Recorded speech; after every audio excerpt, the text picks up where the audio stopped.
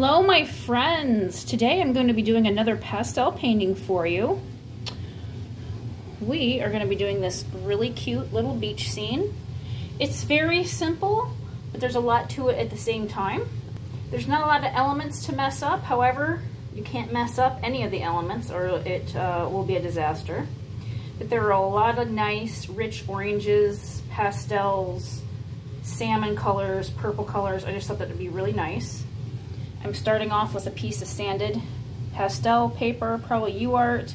I've already matted it on some mat board. And what I've pulled out today are these Rembrandt Rich Oranges. I think I got these in a sketch box. But there's a lot of nice oranges in here. I've also pulled out my Blue Earth Brights to add some final finishing touches of some brightness. And then I am not working out of my studio box today. I pulled out my Paul Rubens. I think this is the box number two of 70 tubes.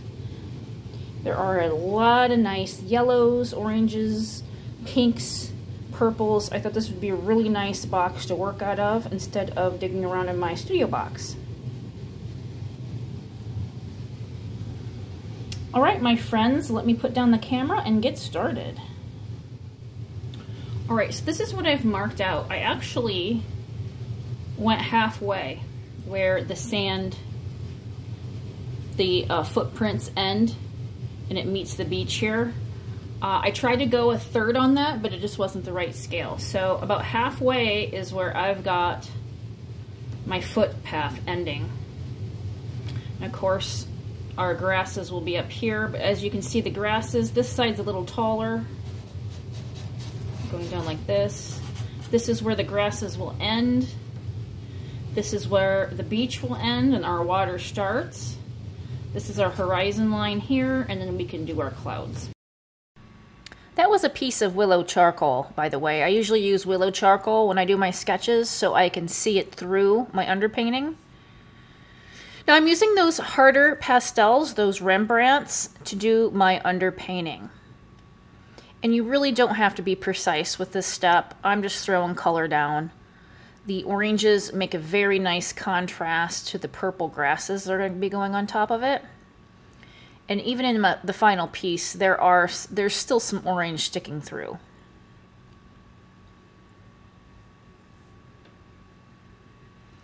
And I'm using isopropyl alcohol. Now I have something crazy like 99.9%. I use it for my alcohol ink paintings. You do not need something that strong. It can be like 70% and that'll do just fine. Mine just dries very quickly. And I'm using, it looks like a fan brush this time to work the those uh, harder pastels into the paper. And uh, the fan brush I used it so I could make these interesting marks that where my grasses are going to go. Like I said, this doesn't have to be nice and neat. Even the messier, the better. I'm going in and reinforcing some of these darks since I really don't have the darks laid out in my underpainting. I went for contrast instead of dark. And boy, does that purple stick out on top of there.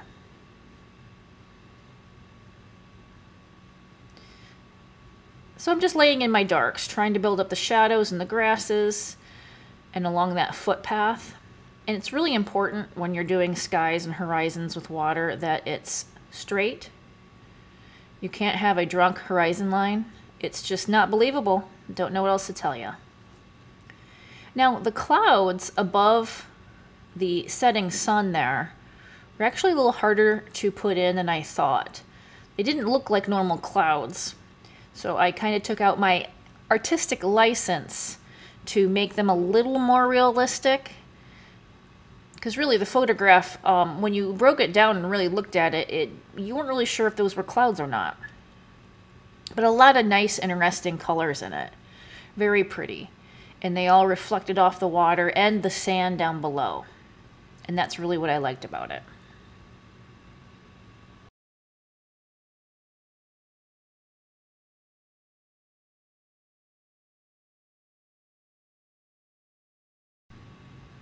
And I wanted to talk a little bit more about this pastel set I am using, the Paul Rubens. I believe the set was gifted to me, and if I can find a video reviewing it, I'll put it up on the screen or down below. There was a first box, and I remember I received that set and thought, wow, these are some strange colors. They were kind of murky and dark and didn't really go together.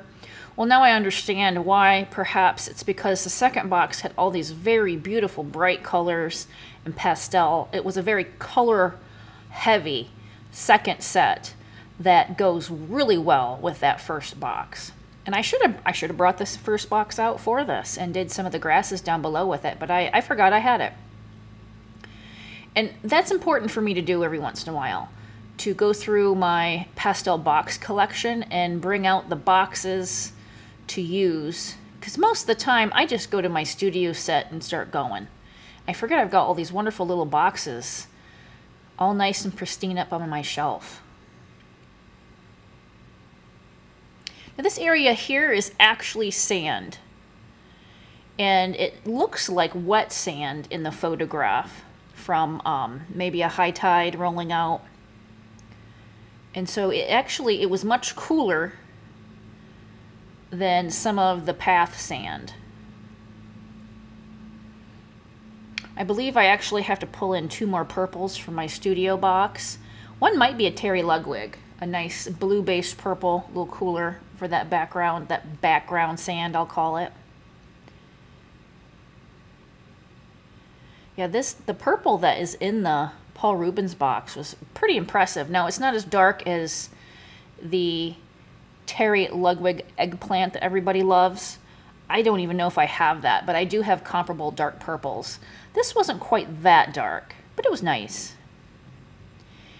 And you know, it looks like I'm throwing down a lot of color on my paper, and I'm really not. You can see through it. Um, just in camera, it looks like I've got a lot of color down. I am spraying it mainly just to set the color, bring the tooth back a little bit, and that's just alcohol. Um, I do sometimes use a final fixative at the end, but during the painting, I'm mostly just spraying it down with alcohol. I really like to do that. I'll probably do that once or twice through a paintings process.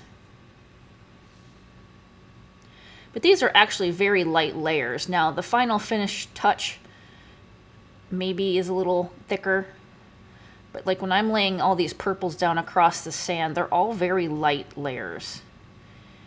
And you can still see that orange poking through at this step, and actually in the final piece, you can still see the orange poking through. I like that. If I'm gonna go to the work to put all this bright orange down, I want it to peek through. There's a lot of interesting uh, shadows in this sandy path out to the beach. Um, I had a lot of fun recreating this a lot of colors you didn't expect in sand. I mean, it's all in the shadow. Oh, here's Fizz. She's coming to inspect my work. She does this from time, time to time. Um, I wouldn't be too surprised if she tries to bat a few pastels off my table. Maybe taste a couple of them. She's really looking for the uh, watercolor paint jar so she could uh, drink some of it. That's her favorite. If you think she looks a little strange, that's because she just got her hair did about a week ago. She has uh, another lion cut. We shave her pretty, pretty short in the uh, hot Florida heat. She likes some of that bulk off of her. She does go outside on a leash, so she um, is out in the elements from time to time, and all that black fur was just a little too hot for her. So she's got her summer cut going. Now I'm back at it, just trying to lay some of these shadows in the sand. I didn't want to lay that whole path in dark purple and lay all this light colored sand on top of it. So we're, we're kind of backtracking a little bit here and there with that dark purple. I typically try not to do that, but every once in a while you just can't pull it off.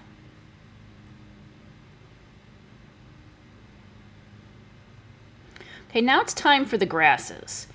And they really have a really dark center mass to them, I noticed. and it's almost reddish.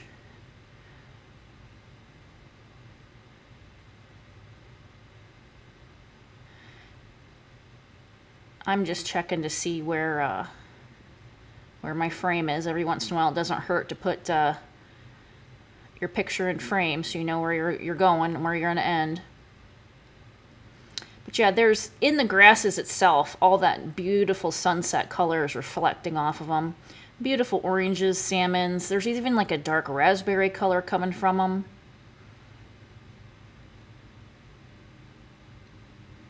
There's that really fun raspberry color that I added to them.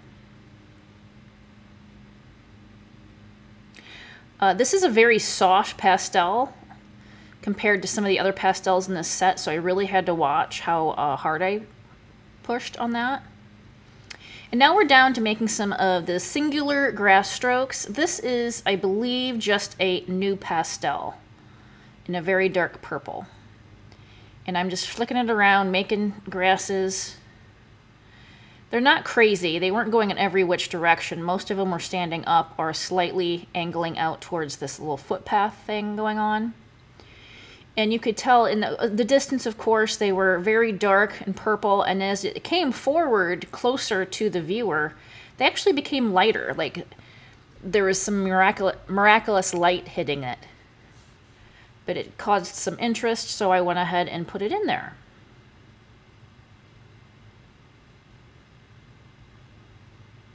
Now this orange is also a NuPastel, but I break out some of my, gosh, I think you pronounce it draw, draw. Um, you can barely just see them. They're, they're at the bottom there. One's peach and one's like a murky greenish brown. I really love those. I got some in open stock through Dakota Pastels. And I think that's going to be my next purchase is a small set of those. I, I like them more than the NuPastels. They're slightly softer. I like the roundness to them.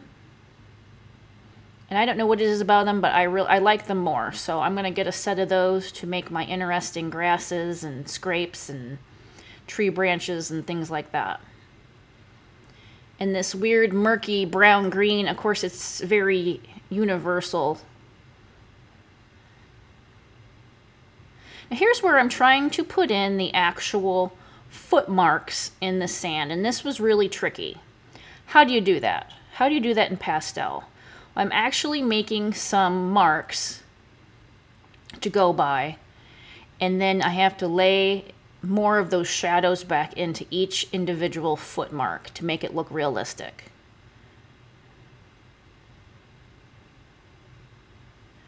Of course, the further back it goes, the more in the distance it is, it's less detail.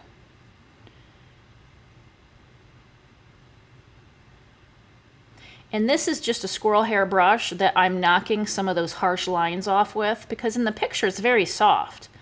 You know how sand is, there's no real harsh edges on it. So I use, every once in a while, I use a brush just to lighten things up. I, I like to use the natural hair ones. I think that was a golden maple, maybe. Something like that.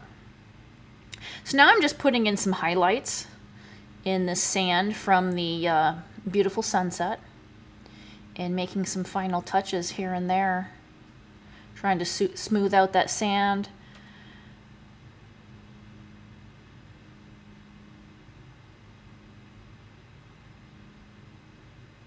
overall, this was a really fun little uh, painting to do.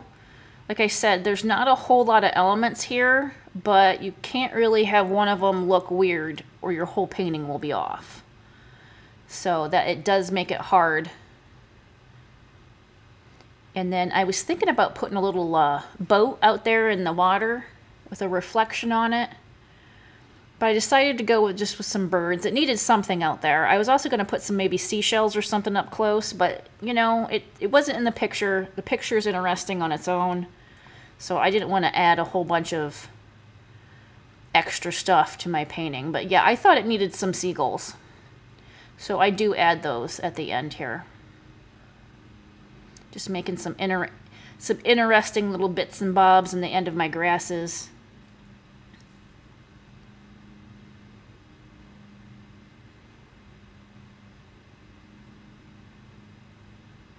I'll mess with the painting a million times before I call it done, and I probably should stop 15 minutes before, but you know, when do you stop? When is it done? Here's the, yeah, here's the little seagulls. I think it really adds a nice touch to it. Finished piece. Um, if I had to go back and fix some things, I would have made the darks in these grasses redder and darker. But, I mean, other than that, I think it turned out pretty good. I did enjoy this piece. These were very fun colors to paint with. And I re I'm really glad I pulled out this set. I forgot just how good it was. And I really do enjoy all these bright colors that came from it. I only had to supplement a couple. I think uh, two purples, the, a little more cooler purple, and I brought out some smaller, harder pastels to make some little, you know, grass marks. Other than that, the whole rest of it was done with these Paul Rubens. And yeah, those are really good pastels, if you were wondering. I think they're in line with my Sennelier. I'm not sure if they're quite that soft, but they are very soft. Anyway, thank you guys for joining me. If you like the little pastel tutorials I've been doing, let me know down below. I really do enjoy doing these for you. And if that's the direction that you would like me to take with my channel, I am all ears. Anyway, guys, I will see you in my next one. Bye.